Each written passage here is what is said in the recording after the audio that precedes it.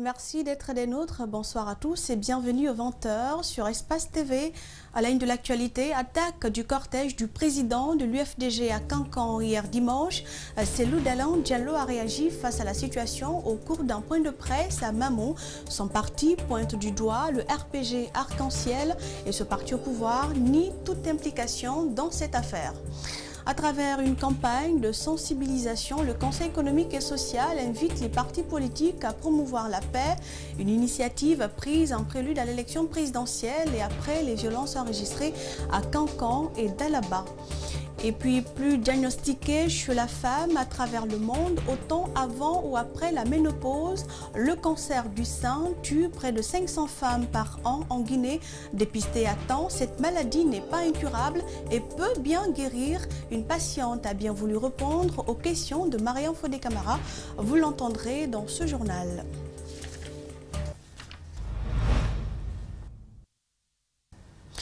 Le cortège de Seloudalan Diallo a été empêché d'accéder à la ville de Cancan ce dimanche alors que le leader de l'UFDG est en campagne électorale. Selon dit, il a animé un point de presse à Mamon pour réagir à cette violation de ses droits. Algassimou Yaliba Yaluba depuis la ville Carrefour Mamon pour plus de détails. Après les événements de Cancan, où l'équipe de campagne de l'UFDG a été sommée par des militants du RPG de rebrousser chemin, Selou Dalen Diallo exprime sa déception.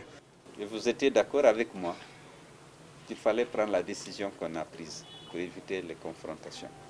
Mais malheureusement, malheureusement, à Farana, ils avaient donc téléphoné pour dire que notre siège arrive, il fallait attaquer, notre cortège arrive et qu'il fallait l'attaquer. Euh, donc notre cortège n'a pas échappé il y a eu des voitures qui ont été donc euh, agressées, attaquées, il y a eu beaucoup de pare-brises qui ont été brisés. Le succès de notre tournée en forêt, la ébranlé, l'a déstabilisé. L'État ne se venge pas. Ces véhicules ont été touchés par des projectiles lancés par des jeunes à Farana. Ce chauffeur s'en sort indemne personne ne blessé, simplement que la voiture est endommagée parce que vous-même vous avez vu, parce que vous avez vu les premières pierres qu'ils ont lancées au-dessus de la parabrise et voici certaines pierres. Vous avez, vu même, vous avez, même vu les preuves du, chemin que je me suis fait dans la brousse. Vous avez vu parce que le parachoc est endommagé aussi. Alpha Asiaba est l'un des journalistes qui accompagne Célou Dalin pour couvrir sa campagne électorale. Il était dans ce deuxième véhicule. Euh, il y a eu des, échanges. Moi-même, je me suis présenté en eux pour dire que c'est une équipe de journalistes qui est dans le véhicule. Il y a un qui a répondu qu'il s'en fiche de ça et il y a les effigies de, l'IFDG euh, sur le véhicule. Donc, euh, ce n'est pas leur problème. Ils ont jeté la bouteille d'essence à l'intérieur. L'intention était de taper notre chauffeur sur le visage. Heureusement, il a pu esquisser la bouteille. Pas de mesure de représailles. Il ne faut pas aller dans la logique de Alpha, celle de la violence. Il faut que les gens se calment et fassent preuve de retenue et de responsabilité. L'équipe de campagne est arrivée dimanche dans la ville Carrefour à Mamou, où elle a passé la nuit avant de poursuivre le chemin vers d'autres localités.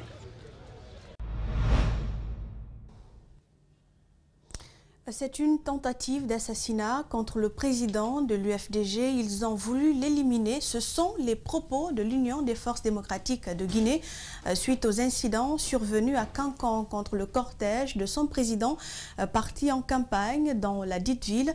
Il accuse Alpha Condé d'en être l'instigateur. Le RPG Arc-en-Ciel, lui, nie toute implication dans cette affaire et demande justice. André Mossi Milimono et Aboubakar Keke Bangoura. Leur souhait, c'est de créer la même chose qu'en 2010. C'est d'aller dire, le Premier ministre a été attaqué à l'Abbé, il faut attaquer Selou en Basse-Guinée, il faut empêcher de faire, à Selou de faire la campagne en Haute-Guinée. L'objectif, c'est ça. On se rappelle encore de cette phrase du vice-président de l'UFDG en réaction aux attaques contre le cortège du Premier ministre à l'abbé, comme pour dire qu'il fallait s'y attendre. L'UFDG pointe un doigt accusateur sur le président Alpha Condé, qui aurait recruté des mercenaires pour empêcher son candidat de faire sa campagne en Haute-Guinée. C'est une tentative d'assassinat parce que les officiers de police et de gendarmerie qui ont été commis à la sécurisation du chef de l'ont abandonné pour prendre la direction de Kissidougou. Et sur le chemin de Farana, c'est un vrai guet-apens qui était monté. Nous accusons le chef de l'État qui est candidat du RPG. Nous n'accusons personne parce que rien ne peut se faire en Guinée comme cela se fait aujourd'hui s'il ne donne pas ses propres bénédictions. Ousmane Gawal Diallo appelle tout de même ses militants à la retenue, car il estime que la vengeance n'arrange rien. Nous disons que malgré la douleur et la colère que nous ressentons par rapport à cette attaque perpétrée contre le chef de file, nous demandons à nos militants de garder la sérénité, que nul ne se donne le droit de se venger, que nul ne se donne la mission de venger ses loups que chacun reste calme, serein et de se préparer au vote du 18 octobre. C'est tout ce qui nous concerne. Le parti au pouvoir, lui, nie toute implication dans cette affaire. Domani Doré parle de suite logique des événements passés au Fouta. Elle demande l'ouverture d'enquête pour retrouver les coupables. Absolument, le RPG Arc-en-Ciel n'a rien à voir avec ça. Le RPG Arc-en-Ciel attend les conclusions justement d'un processus qu'on appelle les enquêtes. Mais ce qu'on ne pouvait pas éviter justement, c'est de faire comprendre à M. Selou Dallet que le bon sens aurait voulu, l'aspect patriotique aurait voulu, que sachant ce qui est arrivé en, euh, en Moyenne-Guinée, il y aurait certainement un effet boomerang en Haute-Guinée. Selon une enquête de CERF, plus de 90% de la population pense qu'il y a des risques d'affrontement avec ce processus électoral, soit avant, pendant ou après le vote.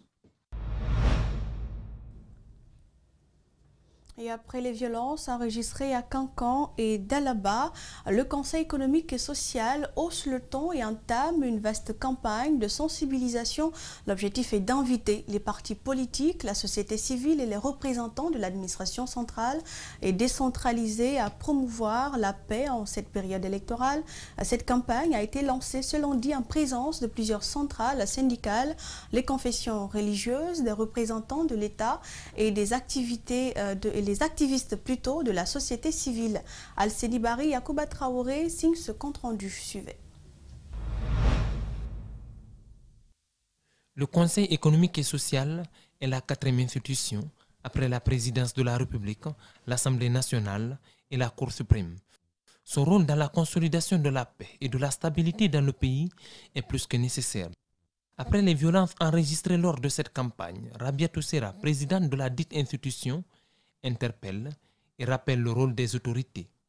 Le rôle de l'État consiste à créer un climat politique et civil favorable au dialogue social et en mettant à la disposition un cadre institutionnel et juridique adéquat et des structures et processus pouvant résoudre des questions économiques et sociales importantes et encourager la bonne gestion des affaires publiques, favoriser la paix et la stabilité sociale. Parlant de la paix, on ne peut parler de la paix en occultant les droits de l'homme et du citoyen. La période électorale est un moment sensible, reconnaît la présidente du CES, raison pour laquelle elle invite tous les acteurs politiques, les militants et les activistes de la société civile à promouvoir la paix, sur le gage d'une société harmonieuse. Nous devons, citoyennes et citoyens, militantes et militants des partis politiques, actrices et acteurs engagés dans ce processus de démocratisation, d'observer la plus grande retenue lors de la tenue des meetings et des mobilisations sociales. À cette occasion, il revient donc à nous Guinéennes et Guinéens de prendre un total engagement traduisant par des actes concrets notre ferme volonté à cultiver l'esprit d'un dialogue franc et constructif et d'une justice sociale. La paix, c'est aussi l'affaire des artistes. André Flamy, le maître des mots comme il se qualifie, a rappelé les bravoures des Divinci, qui selon lui sont des références. Cette campagne de sensibilisation va commencer mardi à Ratouma avant de s'élargir dans d'autres municipalités de la capitale. Nous restons dans le même cadre. Lendemain des violences enregistrées en Haute-Guinée, le réseau Afrique Jeunesse de Guinée a condamné l'acte et compte poursuivre en justice tous les acteurs politiques qui se livraient à ces pratiques. Reportage Bernard Koundouno et Alcini Camara.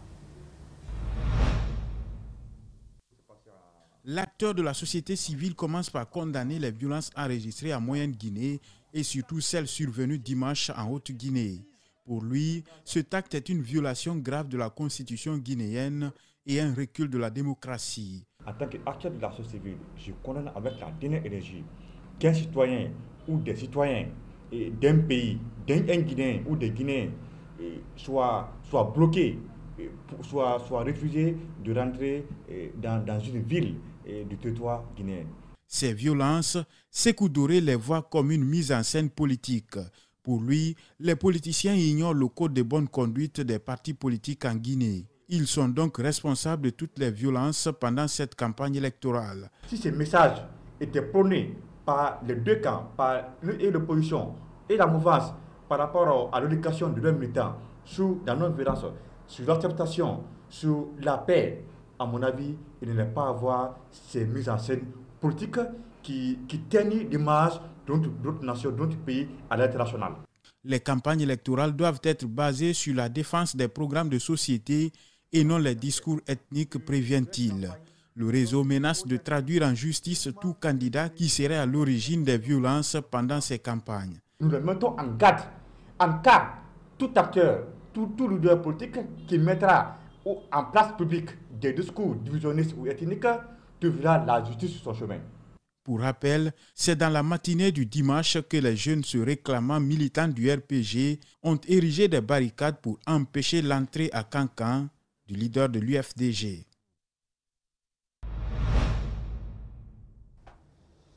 Nous parlons toujours politique. Quelles sont visibles ces différentes bases des partis politiques qui sont installés au long de l'autoroute Fidel Castro et sur la route Le Prince? Les militants du parti au pouvoir et, ceux de Cellou Dalain Diallo ont occupé les points stratégiques des différents carrefours de la capitale, contrairement à certains militants de l'intérieur du pays.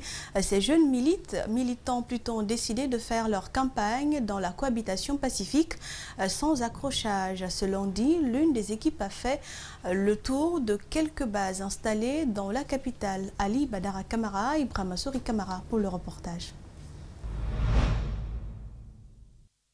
Elles sont visibles le long des points stratégiques de la capitale. Ces différentes bases de quelques partis en lice pour l'élection présidentielle du 18 octobre. Cette cohabitation pacifique est le résultat de la prise de conscience de certains citoyens. Ce jeune militant de l'UFDG dit s'être installé ici au carrefour d'échangeurs de Dixine depuis le début de la campagne pour l'élection présidentielle. À quelques mètres de lui, ses frères ont érigé leur hangar. Eux militent pour le RPG Arc-en-Ciel. Il n'y a pas de discussion. On se comprend un peu. On se comprend bien. Sur la corniche de Landeria dans la commune de Dixine, le RPG Arc-en-Ciel et l'UFDG attirent l'attention de la population. Mama Africa et son équipe militent pour le parti au pouvoir. La cohabitation entre les soutiens des deux principaux partis adversaires n'a souffert d'aucune controverse depuis le lancement de la campagne. Nous, c'est les cousinats à plaisanterie. Les militants de l'UFDG peuvent venir comme nous pouvons partir ces jeux aussi. La politique passe et nous, nous sommes voisins à vie.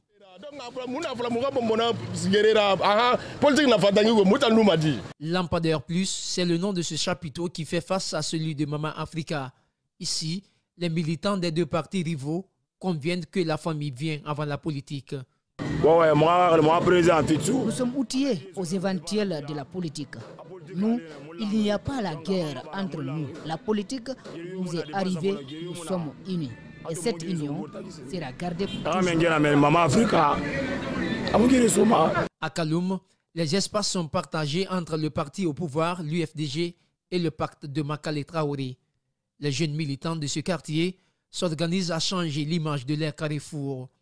Tous conscients des enjeux politiques, ils souhaitent juste une alternance. Mais tout ce qu'on veut réellement, nous voulons alternance. Parce que nul ne peut s'accaparer qu'un bien qui est à tous. Partout à travers la capitale, des militants ont érigé des tentes à l'effigie de leur parti politique en liste pour l'élection présidentielle du 18 octobre 2020. Certains sont même allés plus loin en taguant sur les chaussées le nom de leur parti. Tout autre sujet dans ce journal, je vous l'annonçais d'ailleurs, le cancer du sein est le cancer le plus diagnostiqué chez les femmes à travers le monde, autant avant ou après la ménopause. En Guinée, 500 femmes en meurent tous les ans. Pourtant, elle peut se guérir si elle est dépistée à temps. Mariam Fodé Camara et Lamine Silla ont rencontré une patiente. Suivez leur reportage. Elle a souhaité garder l'anonymat. Nous allons l'appeler Aïcha. Âgée d'une cinquantaine d'années, cette dame est effondrée par un cancer de sein qui la ronge depuis maintenant près de deux ans. Elle s'est faite soigner à l'indigénat sans succès.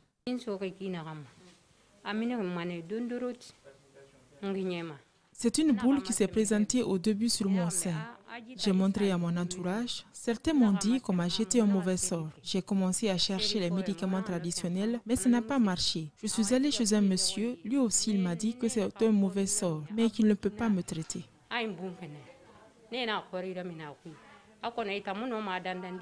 Cette mère de famille a découvert l'hôpital Jean-Paul II après plusieurs mois de souffrance du cancer dans l'ignorance. Elle vit avec et s'en remet à Dieu.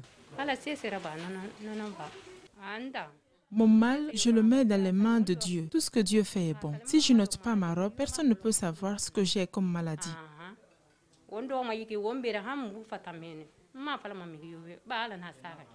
500 femmes meurent du cancer de sein par an en Guinée. La maladie représente 1,8% chez les hommes, explique le chef service cancérologie à l'hôpital Donka.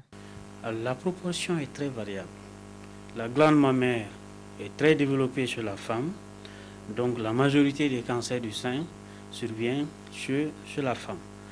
Et l'homme est atteint dans une proportion de 1 à 2% des cas. Parfois, ça peut aller jusqu'à 5%.